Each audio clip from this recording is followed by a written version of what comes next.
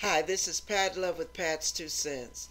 I really needed a refreshing. I needed a real rest, you guys, and I really appreciate you understanding. Um, I do believe in accountability, so I want to let you know I'm back now. I'll be off and on because I'm working on my net, my present project, which is laying tile. And believe it or not, this is not tile. This is actually contact paper over cheap flooring. anyway, so, um, but it's going to look like onyx tile when I get through pouring the epoxy over every all, all my countertops mm. and my kitchen table. I mean, yeah, my table, my dining room table is going to have that exact same design on it. So I have half of it done now. Anyway, moving right along. Just want to tell you I'm back. Uh, I hope that you're ready for some videos because I got some coming up.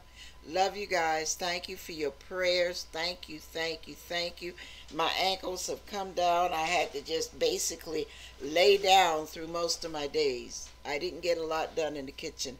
I did a lot of sleeping, a lot of sleeping. I just got up about half an hour ago, and it is now 10:30 p.m. So, um, I mean, I slept all night and then got up, was up three hours, and went right back to sleep.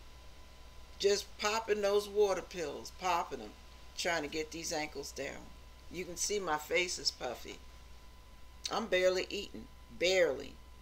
And it's, it's, it's just that fluid.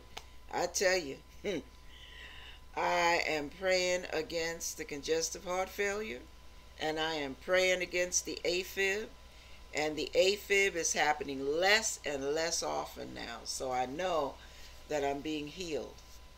It's just a matter of time. And if God's got the time, I got the time. Anyway, God bless you for understanding. And some videos are coming up. Thank you.